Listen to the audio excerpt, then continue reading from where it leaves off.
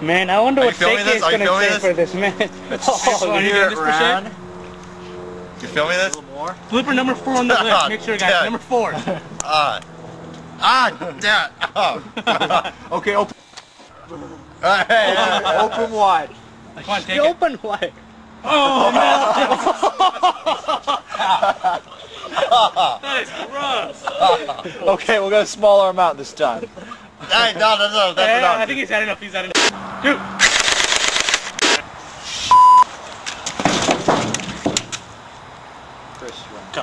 And you're gonna drop to the Is floor. really gonna feel like- drop the floor and you're gonna run My entire neck is red. Is it?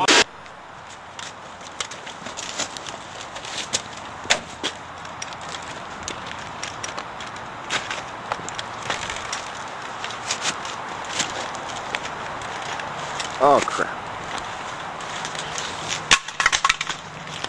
Okay, you know what? I'm just gonna film Makesh getting shot independently because I can't see through this thing. I can't No, move it fast. doesn't, it doesn't really matter. Okay, Makesh, die. But Cash, you're not standing. Uh, But Casky, damn you. Go. Hey, you have a problem? I have a problem solver. His name's Glock.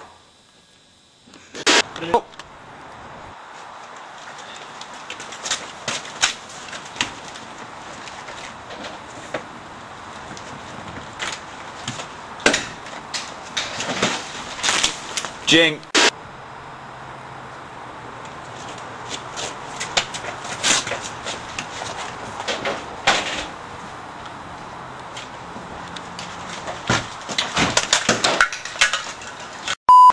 We have to do this again.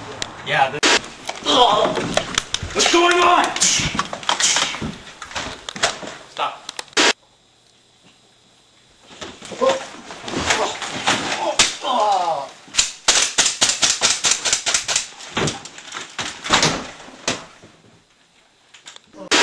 Three. So sorry. So sorry. Stop. briefing.